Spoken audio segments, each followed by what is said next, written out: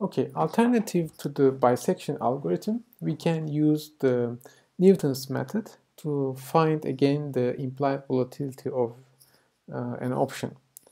So basically, um, the difference is in the Newton's algorithm, notice that we also need to know how to evaluate the derivative of the function.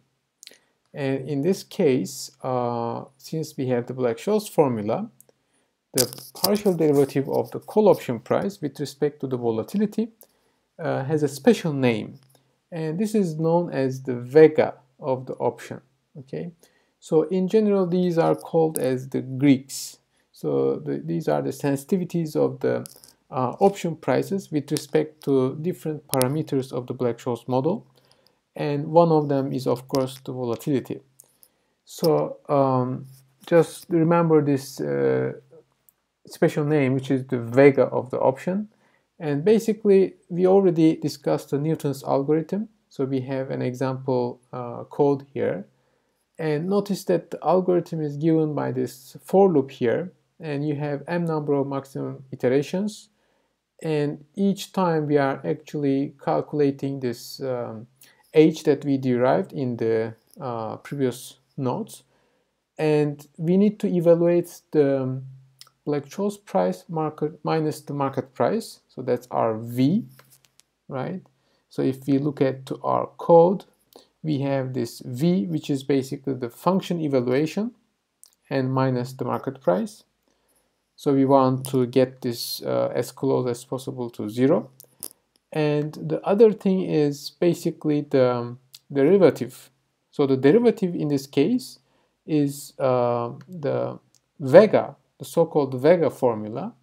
And in this formula, you can notice that we have the current stock price S times the um, derivative of the CDF, the norm, standard normal CDF, evaluated at D1.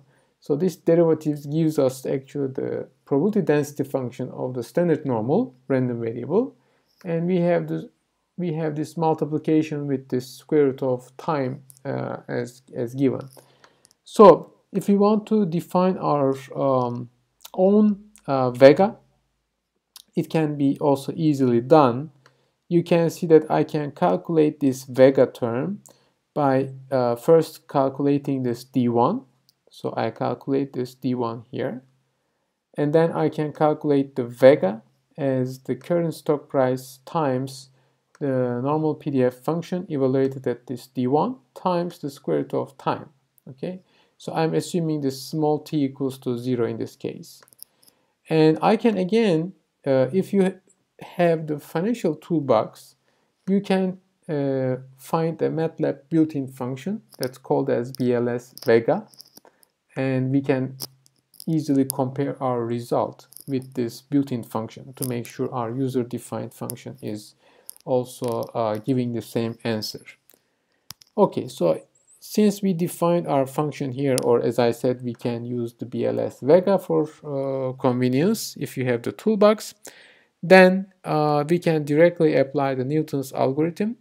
So you will be given some market price or you will observe it from your data, okay? And then um, one, one more thing, here we can calculate again the built-in, uh, we can use the built-in function in MATLAB for the implied volatility so that's given by this BLS imp uh, V function.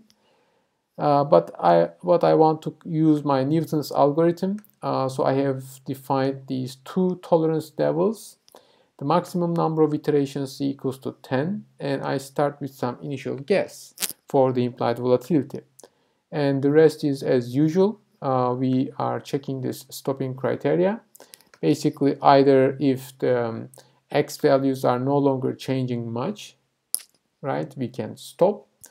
Uh, or uh, if our function value is almost um, almost equals to zero, again there is no reason to continue our uh, iterations and we can uh, apply this break statement and give a give the flag equals to one to indicate that the convergence criteria has been achieved okay and we return the latest updated um, x value to the user.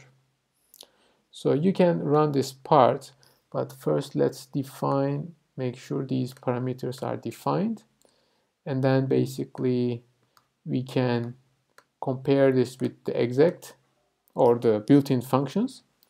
So let me run this piece here to use the Newton's algorithm now so we can see that the implied volatility as a result of the Newton's uh, algorithm is uh, 0.3201 okay?